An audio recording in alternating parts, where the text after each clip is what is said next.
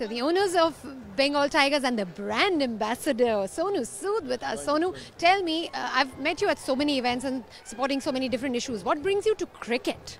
No, I think there was. I always wanted to play for my country. Actually, never thought that you know I'll get into acting, but the, the passion always remained, and uh, you know that's why I was lucky enough to play for you know Mumbai Heroes in the CCL. Then was a captain of the Punjab team also.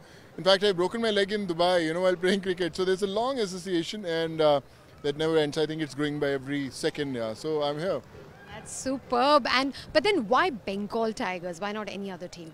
It, it's very important to uh, sail in a boat which uh, you know which, which which have people which think alike.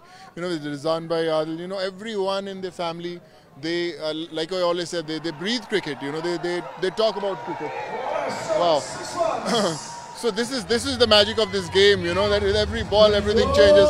So I think when um, we, we spoke about it, so I thought this is the boat we want to sail in, and Beng- nothing uh, better than Bengal Tigers. Yeah. Nothing better than Bengal Tigers. And as he rightly said, eating, breathing, drinking, cricket all the time. You, your son, and Mr. Adil, Mr. Cricket. Mr. Anis, who is the Mr. Cricket. Everybody knows him, you know, and he is the one who gets us into this, gets into the uh, passionate mode.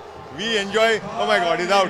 Why is that happening? That's where your mind is. okay. But then, so, yes. uh, so, but that, that is what is. We all family is passionate about cricket, and luckily Sonu is also passionate about cricket.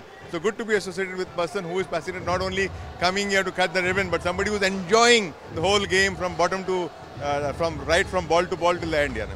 And lastly, let me ask your son, Adil, how are you enjoying the second season of the T10? I mean, we're loving it. We've been growing up watching cricket, first with the 50 over format, and then with the 20 overs.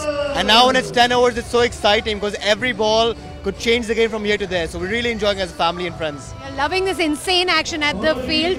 Wishing you all the very best to your team.